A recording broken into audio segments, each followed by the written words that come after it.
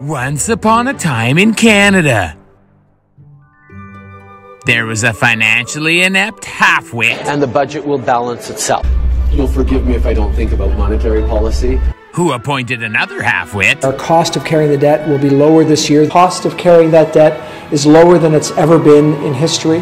who got his ass fired It's the right time for a new finance minister. That's why I'll be stepping down as finance minister. Then they appointed another half The restart of our economy needs to be green. Debt servicing charges are imminently manageable. but finally came up with a plan to make Canada affordable again. Let's cut that Disney Plus subscription. So we cut it.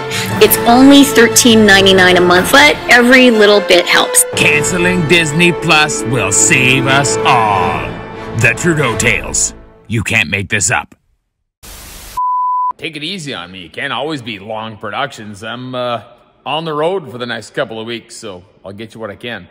Anyways, if anybody's kicking around the Red Deer area, I'm going to be at the Mandako booth at AgriTrade in Red Deer uh, on the 9th and the 10th, I believe it is. Then I'll be up at PBR in Edmonton on the 11th and 12th. So uh, get on out there, folks. Have some fun.